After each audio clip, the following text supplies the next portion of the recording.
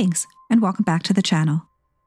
This was, once again, not the most memorable year in science fiction cinema, but there were a few gems released this year, including the first sci fi film out of Brazil and a docudrama about the Manhattan Project. But this year belonged to the serials, with all American guys fighting evil and saving the day. However, the House Un American Activities Committee, or HUAC, investigations into alleged communist influence in Hollywood cast a long shadow over cinema in the United States. Although science fiction films weren't directly targeted in 1947, one director I've covered in previous episodes, Edward Dmytryk, was placed on the blacklist as one of the Hollywood 10.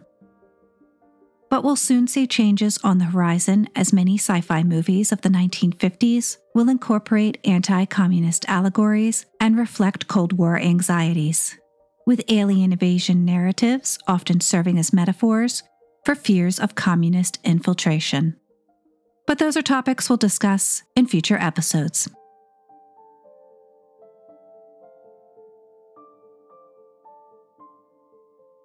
Brazil stepped into the world of science fiction cinema in 1947 with Uma Aventura aos Quarenta, or An Adventure at 40, directed by Silveira Sampaio, a playwright making his feature film debut as both director and screenwriter.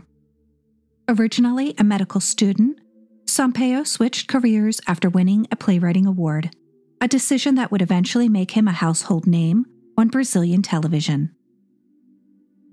The cast is led by Flavio Cordero as Professor Miranda, and he's joined by Aida Carmen, Ana Lucia, and Nilza Soltine. The story focuses on Dr. Carlos Miranda, a retired scientist living in the futuristic year of 1975. Attending a TV special celebrating his 70th birthday, Professor Miranda stops the broadcast to reveal the truth of his extramarital affair with a young woman named Jane back in 1947, challenging the official version of his legacy. While set in the future world, the film digs into Miranda's professional journey by confronting his past and being honest with himself. Filmed on location and mostly outdoors, with a very small budget, the production had its share of issues, like having to dub much of the dialogue in post production because of the limited sound equipment on set which gave it an amateur, unpolished feel. Despite these challenges, the film stood out for its forward thinking concept of live interactive television, which was possible but not yet used in 1947. During the time of release, it didn't get much attention, since most Brazilian movies at the time were comedies, musicals, or melodramas. But it did have an interesting sci fi twist set in the future with live TV broadcast playing a key role. While live TV interviews weren't common until the 1950s, the idea of a character interrupting a live broadcast was ahead of its time. Though I'm slightly disappointed that the filmmakers didn't add more futuristic elements, like tech gadgets and costume design, to show the difference between 1947 and 1975, I completely understand that they couldn't because they were on such a tight budget. This is one chapter in a man's life that feels more like a silent film with narration than a sound film that we're used to seeing in Hollywood. The use of narration was due to the production's amateur level budget. They were unable to get decent sound recording on set, and so the director chose to use post production dubbing and narration to tell the story. There is a charm to this story and a good reminder that science fiction can take place even in a mundane world. An Adventure at 40 is available to stream on YouTube and the Internet Archive if you would like to check out Brazil's first foray into science fiction cinema.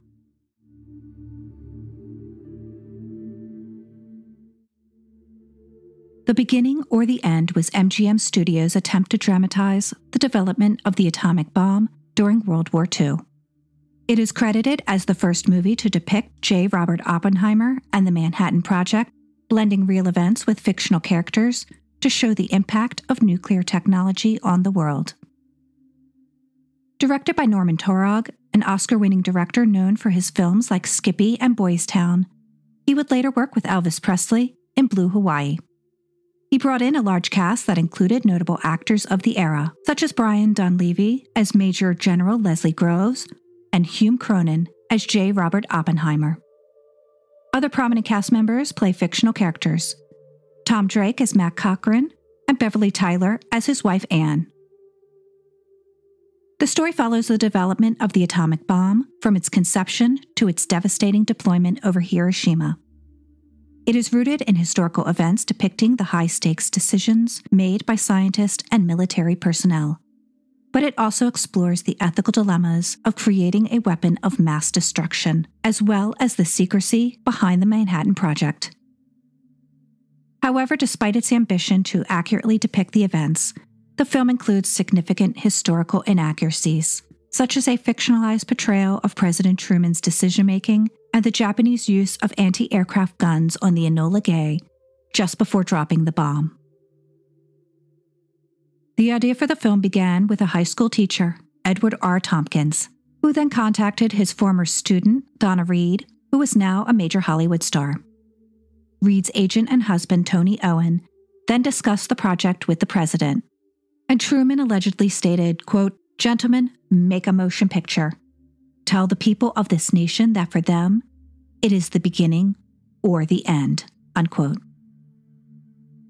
Multiple studios were interested in developing a Manhattan Project film shortly after the war.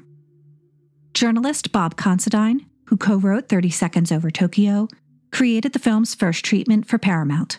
Even Ayn Rand was one of the writers attached to early drafts of the script before Considine's treatment was purchased by MGM, where Frank Weed, an aviator and veteran, completed the final screenplay. One of the film's key challenges was securing the permission of the numerous real life figures, which was required before studios could begin filming.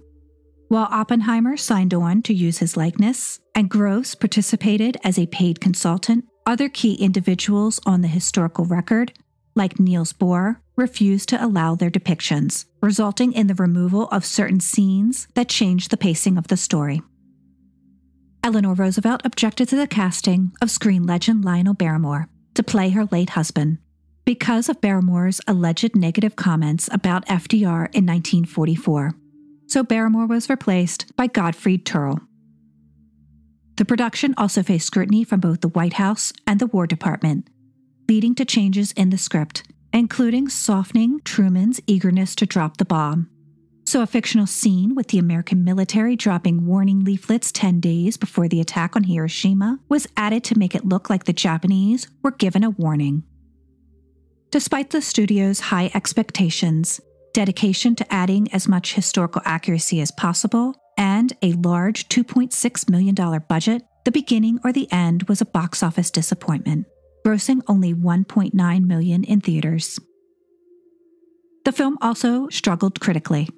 The New York Times remarked, quote, "Despite its generally able reenactments, this film is so laced with sentiment of the silliest and most theatrical nature that much of its impressiveness is marred." Unquote. Variety did praise the production's scripting and documentary value, but found the execution lacking.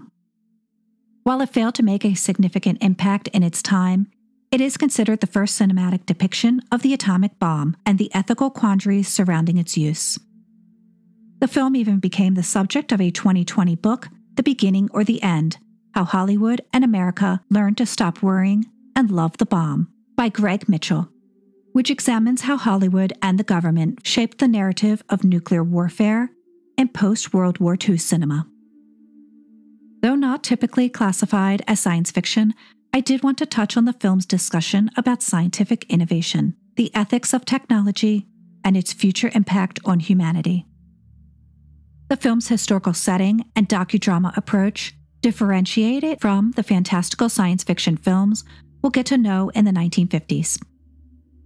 The large cast feels a bit scattered, with historical figures taking a backseat to ones created for the film.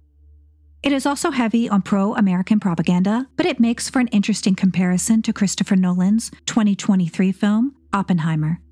Seeing the first portrayal of the Manhattan Project alongside the latest version is fascinating. It is worth noting how much of the Manhattan Project and the Hiroshima bombing Hollywood was willing or allowed to show in 1947. The Beginning or the End is available on DVD and streaming on YouTube and the Internet Archive. I've also included a link in the description below to a scientific critique of the film from 1947 if you would like to check it out. Before we dive into the serials of 1947, if you're enjoying the content, hit like and subscribe for more episodes on the history of sci fi cinema. You can also support my work on Patreon, which I'll link in the description below. Your support means a lot, and I appreciate everyone stopping by to share their love for this amazing genre.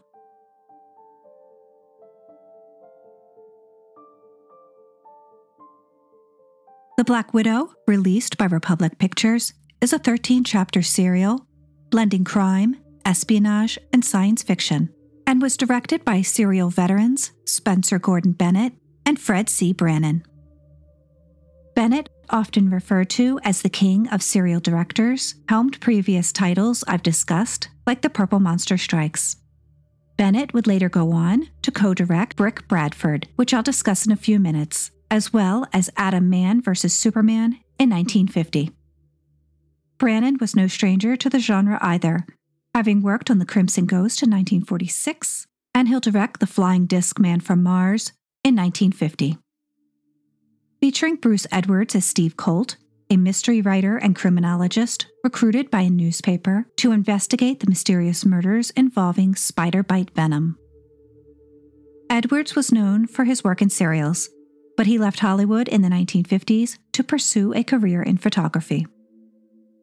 Virginia Lindley, using the stage name Virginia Lewis, plays reporter Joyce Winters.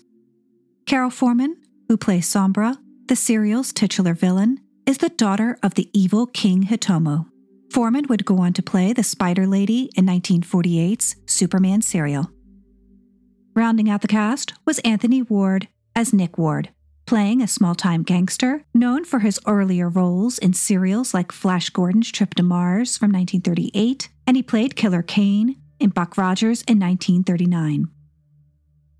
Republic's renowned special effects team, the Lydecker brothers, were behind the serial's memorable visuals, like the mechanical spiders and tech gadgets. The story follows Steve Colt as he investigates the mysterious murders caused by venomous spider bites. Behind it all is Madame Sombra, who's hatching a plan to steal an atomic rocket engine so her father can take over the world.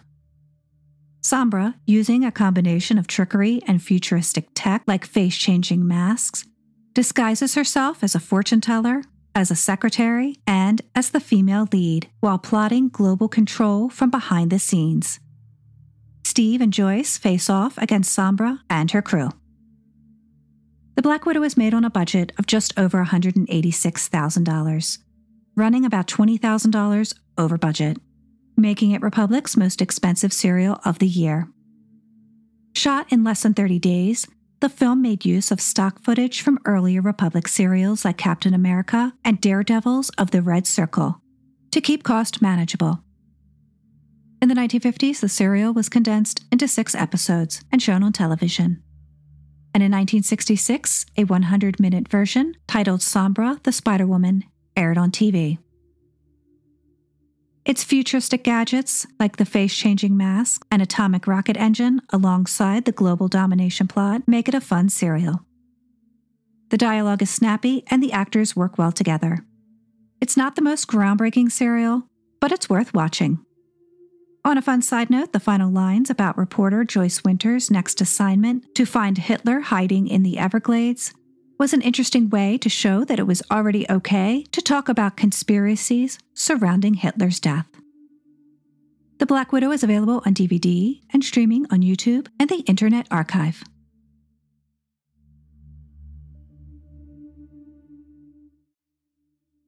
Brick Bradford is a 15 chapter serial adapted from the popular comic strip by Clarence Gray and William Ritt, and was one of the few sci fi serials from Columbia Pictures, and the first of two we'll discuss in this episode.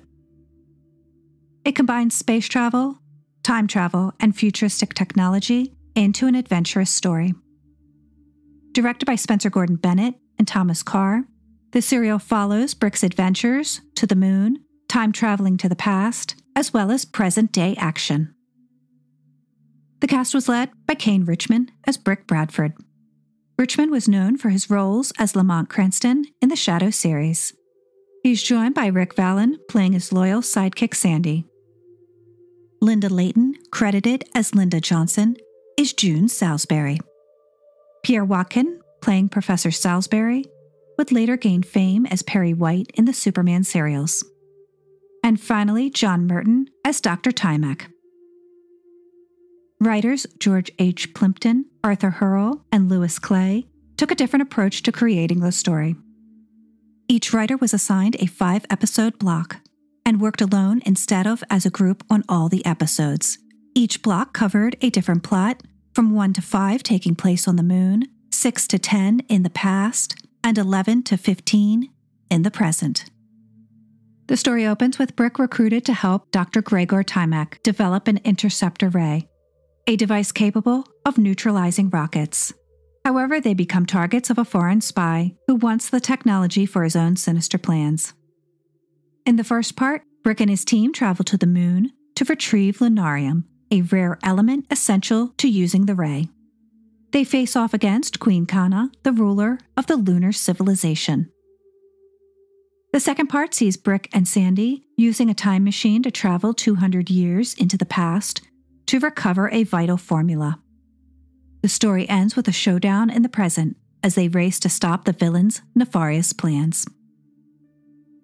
Brick Bradford used some decent special effects and practical sets to bring its futuristic vision to life, except for the costumes on the moon, which look way too much like simple Earth costumes. And stock footage from earlier films was reused, a common practice to cut cost. The story has everything from time travel trips to the moon, futuristic technology like an interceptor ray, and even an invisibility gadget. The heroes are way too clean cut, and the villains are rather dull. The first episodes on the moon are the best of the bunch, and the rest of this serial feels like it's in a different universe. Brick Bradford is available on DVD and streaming on YouTube and the Internet Archive.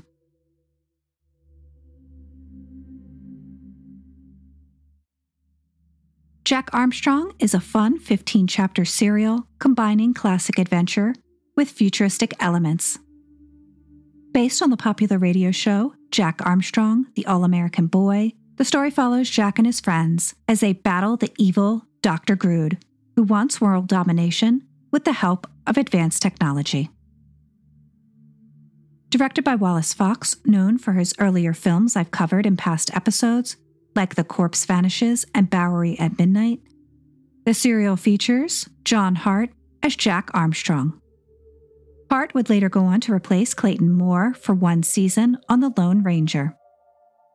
Rosemary LaPlanche, a former Miss America, plays Betty Fairfield, and Joe Brown Jr. is Billy Fairfield.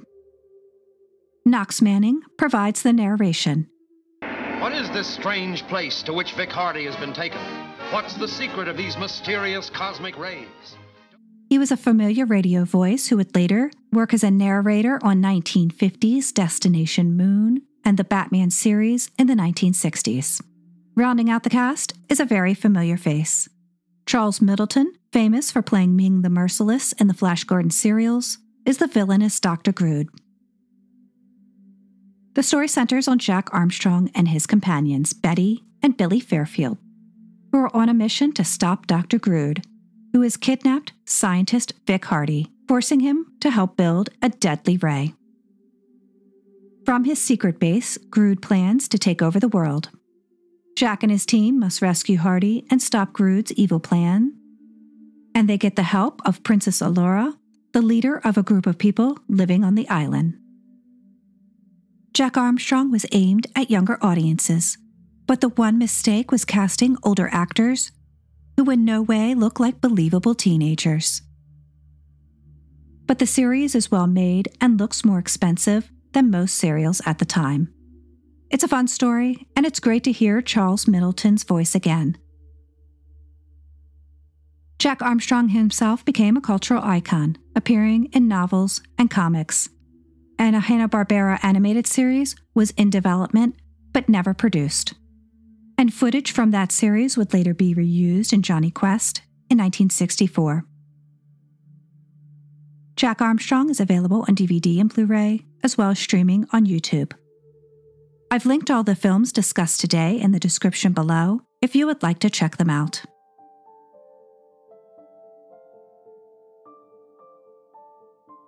By 1947, science fiction was on the verge of earning respect as a serious literary genre, thanks in part to J.O. Bailey's Pilgrims in Space and Time.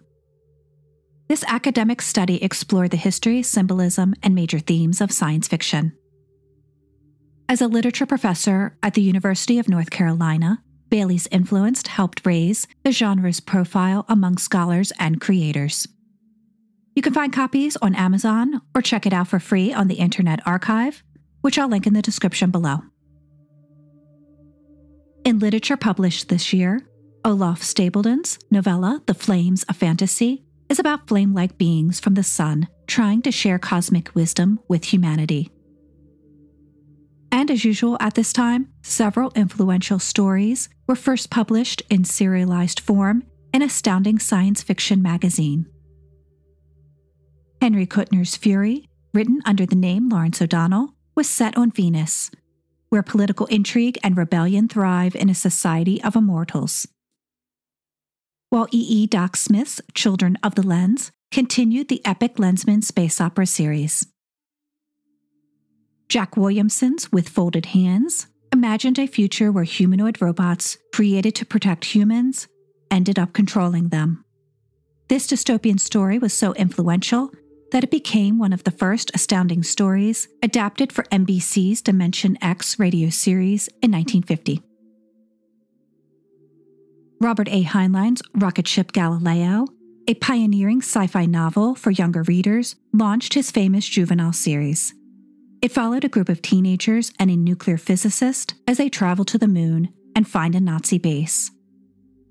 The novel loosely inspired the 1950 film Destination Moon, Co writing the screenplay, Heinlein altered the original story, leaving out the Nazis and the teenagers.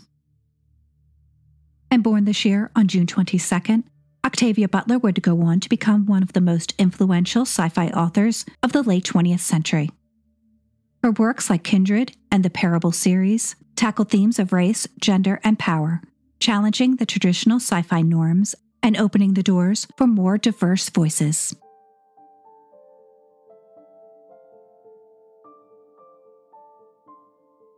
This was a time of major changes that would shape the decades ahead, especially with the onset of the Cold War. This shift in politics, economics, and society provided a backdrop for science fiction films that would soon reflect the growing anxieties of the time, whether about war, technology, or the unknown. History doesn't happen in isolation, and neither does science fiction cinema. Culture, science, art, and film all shape and are shaped by the world around them. To get a sense of the science fiction films of the late 1940s and into the 1950s, it's important to look at the bigger picture. And so, for the rest of this episode, I'll dive into some key historical, cultural, and cinematic events from 1947. One event that fueled the public's imagination and left a lasting mark on science fiction was the Roswell incident, made public on July 8th when the Roswell Army Airfield issued a press release about a recovered flying disc the military then retracted the story, claiming it was just a weather balloon. But it sparked widespread interest in UFOs and extraterrestrial life. This fascination would explode in the 1950s with a wave of alien themed films. On February 17th, the U.S. launched the Voice of America radio broadcast into Eastern Europe and the Soviet Union, part of the battle between capitalism and communism. A month later, on March 12th, a date some scholars mark as the start of the Cold War, President Harry Truman announced the Truman Doctrine, a policy designed to contain the spread of communism by providing military and economic assistance to countries resisting Soviet influence. Amid this political backdrop, other key global events shaped the cultural landscape. On January 10th, the United Nations adopted a resolution to take control of the free city of Trieste, further illustrating the post war division of Europe. And peace treaties with Italy, Romania, Bulgaria, Hungary, and Finland were signed in Paris on February 10th, attempting to establish stability in Europe after World War II. Meanwhile, the U.S. Secretary of State, George Marshall, proposed the Marshall Plan in June, a significant initiative aimed at helping European nations recover economically from the devastation of the war. A new constitution went into effect in Japan on May 3rd, turning the country into a pacifist state. On August 15th, India and Pakistan gained independence from British rule through the partition that led to violence and mass displacement. And the U.S. tragedy struck on April 16th with the Texas City disaster, one of the deadliest industrial accidents in the country's history. The explosion of a ship loaded with ammonium nitrate killed nearly 600 people. The National Security Act of the United States, signed on September 18th, established institutions like the Central Intelligence Agency, the Air Force, and the Department of Defense, reflecting a heightened focus on national security and the United Nations voted on November 29th to partition Palestine, a decision that would lead to the creation of the State of Israel, which would lead to intensified conflicts in the region. This geopolitical shift had far reaching consequences, still felt today.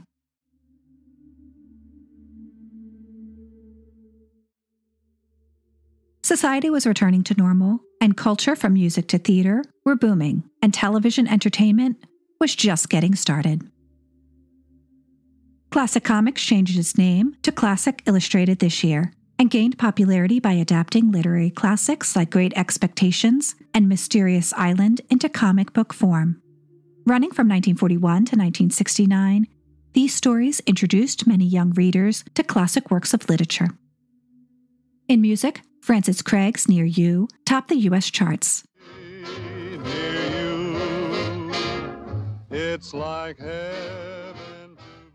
Broadway saw the debut of Tennessee Williams' A Streetcar Named Desire, starring Marlon Brando and Jessica Tandy, while the whimsical musical Brigadoon from Lerner and Loewe opened to acclaim. The first Tony Awards were held, honoring performers like Jose Ferrer, Fredric March, Helen Hayes, and Ingrid Bergman.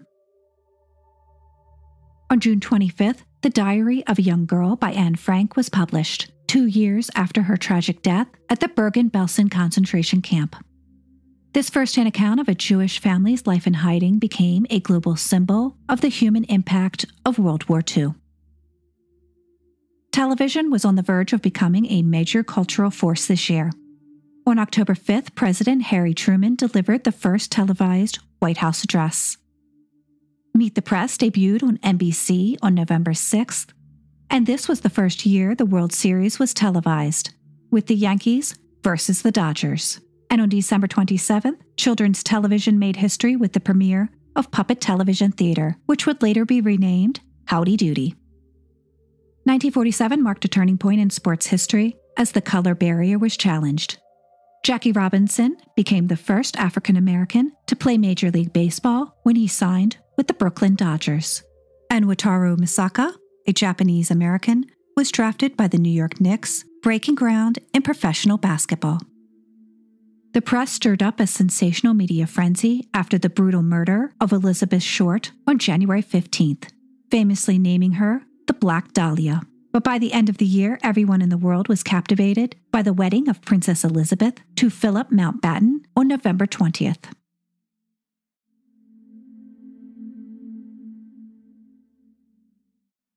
Breakthroughs in science and technology set the stage this year for many modern inventions. On February 20th, U.S. scientists launched a V 2 rocket carrying fruit flies to an altitude of 68 miles, marking the first time living organisms were sent into space and safely recovered. In June, the Bulletin of the Atomic Scientist introduced the Doomsday Clock, a symbolic representation of global existential threats to indicate how close humanity was to catastrophic destruction. Aviation history was made on October 14th when Chuck Yeager became the first person to break the sound barrier while flying the Bell X 1 rocket powered plane. In December, Bell Labs scientists John Bardeen and Walter Brattain working under William Shockley, invented the first practical transistor. This small device would eventually replace bulky vacuum tubes. And several technological advancements in entertainment and culture set the stage for future innovations, particularly in video games and photography. On January 25th, Thomas T. Goldsmith Jr. and Estill Ray Mann filed a patent for what many believe to be the first video game, an invention described as a cathode ray tube amusement device that displayed simple visuals manipulated through analog controls. On February 21st, Edwin H. Land demonstrated the instant camera, later known as the Polaroid, and changed photography forever, allowing people to develop photos in just 60 seconds. It became commercially available in December 1948 and was widely celebrated for its convenience and ease of use.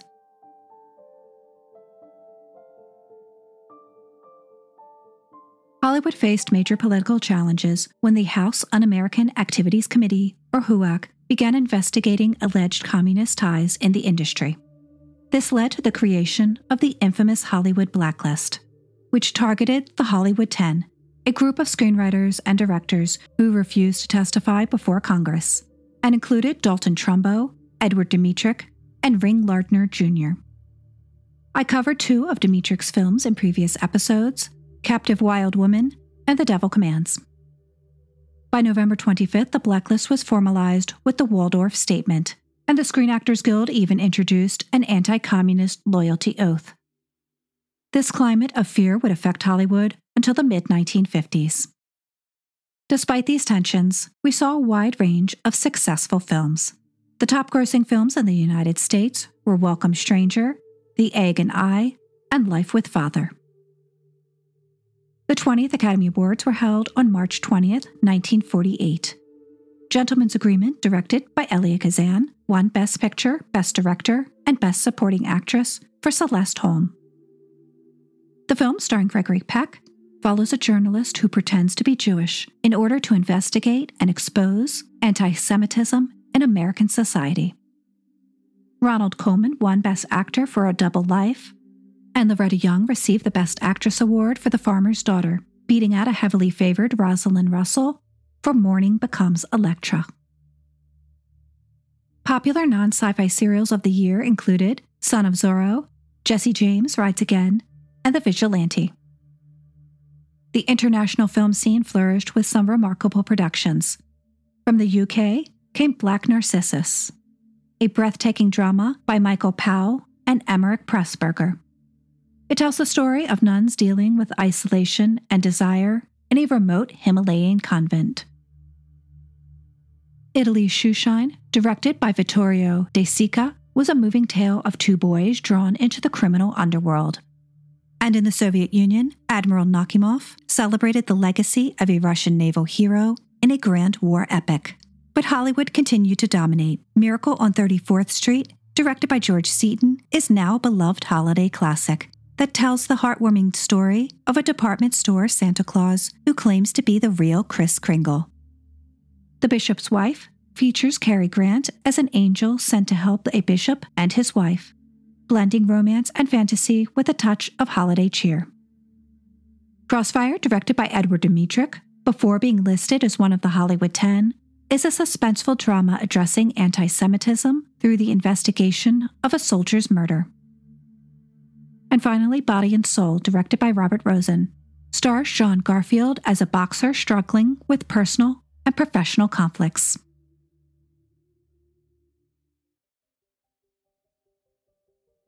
Science fiction is about to emerge from its cocoon.